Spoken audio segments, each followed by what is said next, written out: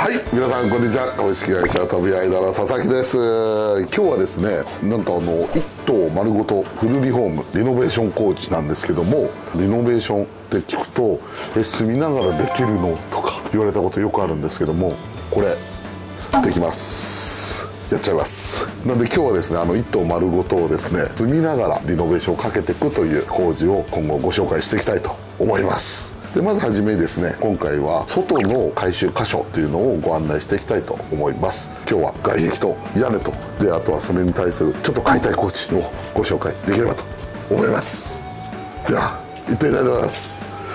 うーぶったり。はい。そしたらですねまず外壁の方ですねカバー工法といった形のものをやっていくんですけども見てください。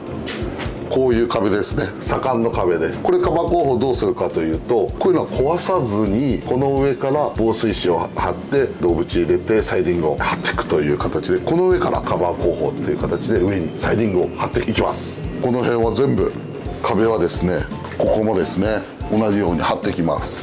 そうすると壁が変わってくるんですけどこういったところも同じようにサイディングで貼っていきます。で次は解体です。実はですね上見てください。はいこちらの建物ですね。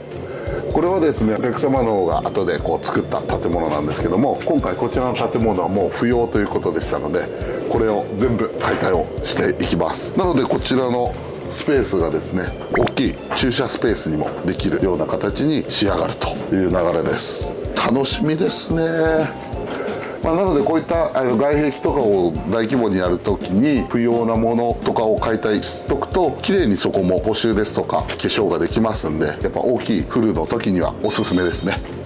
でこういった形でこちらの方をどんどん壁を張っていくような形です。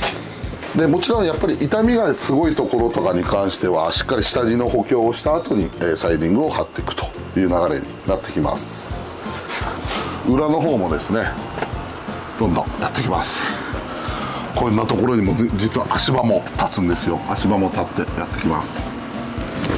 こういったあの壁はサイディングでやっていくんですけどもこういう木部とかですね既存のところ、えー、残ってるところですね、まあ、傷みがあるところは全部、えー、補修をしながら、えー、最終的には塗装とかで、え、こういうのは仕上げていきます。壁はこういうふうに全部。変えていくんですね。全部でしょ。ここも全部新しい壁に変わっていきます。こういった塗膜の剥がれは下地は傷んでないんですけどもこういう木部ですね。やっぱり傷んでます。こういうのはしっかりと補修して交換なりして新しくしていきたいと思います。うんうん。はい。こんな形で、えー、いろいろと外壁の方は全部直していきたいと思います。あとはそうですねこの戸袋なんかもこういう面材も新しくしていくので、えー、こういうのももう傷んじゃってますんでサイディングを貼ったり、えー、もしくは化粧のベニヤを貼ったりするような形で仕上げていきたいと思います、はい、早く足場立たないかな。楽しみだな。次はあの屋根の方を、え、ご紹介したいと思います。はい屋根の方に来ました。こちらですね。これは下屋根になるんですけどもトタン向きの屋根となってます。で今回こちらの屋根もですねカバー工法という形で修理していきたいと思います。ただですね今回ちょっと下地の方がだいぶ傷んでますんでその辺はしっかりと補強しながらできたいというふうに今思っております。これが新しい屋根に全部変わっちゃいます。ですね。でこの屋根を吹き替える時ですねこういうふうにベランダがあるんですけどもこういったベランダもですね一回取り外しをしながら施工をしていくという形になります。屋根を吹き替えるっていうのも意外と大変なんですよ。はいこの屋根に付随してなんですけどもやっぱ屋根だけではなくてですね屋根にはこういった破風という部分ですね雨どいが止まってるところです。とあとと軒裏軒天とも言います、え、こういったところが、え、あります。やっぱりこういったところはですねやっぱ長年の劣化で雨で傷んだりしてますのでこういったところも、えー、全部張り替えを、えー、していきます。で今回どうでしょう？破風に関しては。うん大丈夫ですね。傷んでるように見えますけど、えー、実はこういうのはただ塗膜が取れてまして中の木は頑丈になってます。なのでこういった場合は塗装で仕上げていきます。でここが、えーと、2階の屋根ですね。これ今瓦です。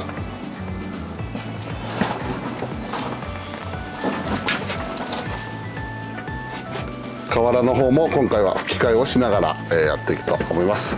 ちょっと今映像が見づらかったかもしれないんですがすいません。手手の届く範囲でやらさせてもらってます。そしてこちらです。現窓の上にですねよくある小さいこう屋根これはひさしと言います。で、えー、このひさしも今回は、えー、処理をしていきます。トタンがだいぶ傷んでますんでこの辺も、えー、張り替えたり塗装したりやっていきたいと思います。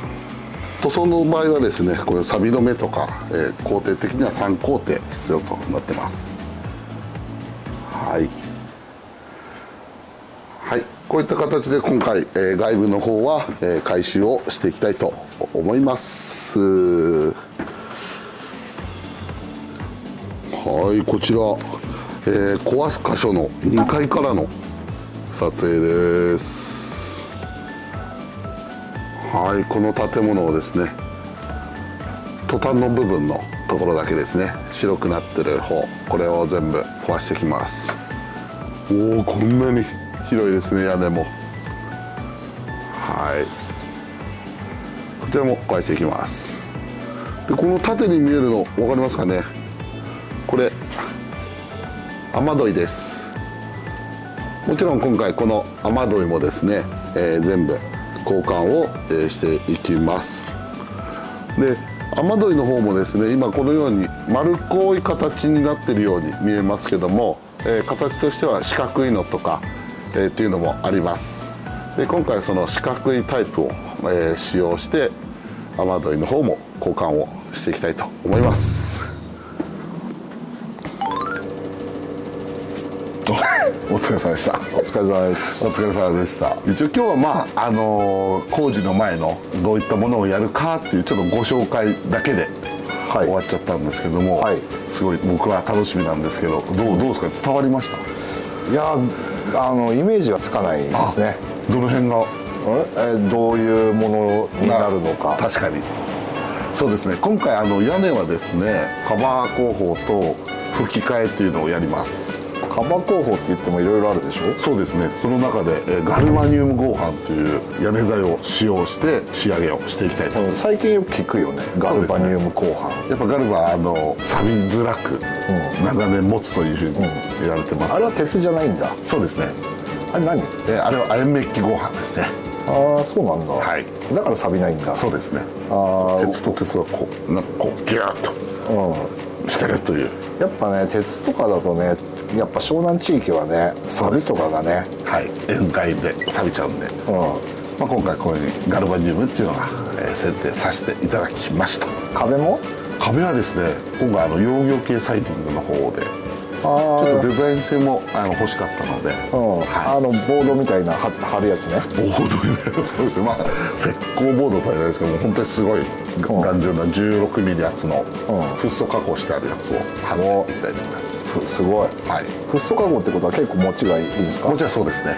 どれぐらい持つんですか？大体一応20年っていう形で耐久性はあるものを使っていきたいと思います、じゃあ20年後メンテナンスまたやってみたいな。そうですね。ところどころやっぱりあのコーキングですとか、うん、そういうのは使ってますので、うん、やっぱりメンテナンスっていうだけですと、うん、まあ良いものを使っても10年周期でやっぱ見ていくのが一番いいのかなと思いますね、なるほど。はい分かりました。まあそうは言うてもねちょっと終わってみないとちょっとイメージがなかなかねそうですね。デザインとかもいろいろあるからね、はい、またちょっと終わってからご紹介していただければと思います、はい、そうですね。終わる前にも途中もどんどん撮っていきたいと思うんでぜひそちらも見てください。はい、はい。じゃあ最後に会社紹介お願いしまはい。す、、えー株式会社飛び間はですね。